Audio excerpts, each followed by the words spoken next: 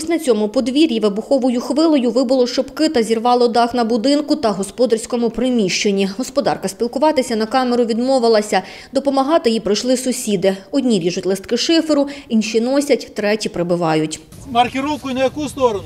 Зліва, справа має бути. Ліва, ліва, зліва. Будматеріали, сусіди відгукуються, молодці, прекрасно, і гроші зносять, і будматеріали зносять, і все нормально. Це говорить про те, що ми свідома нація і все буде good. На сусідньому будинку хвилею теж зірвало кілька листків. Сусід Олег розповідає, від звуку вибуху аж присів. Ну, почули, що добре бабахнуло. Тут 17 листків.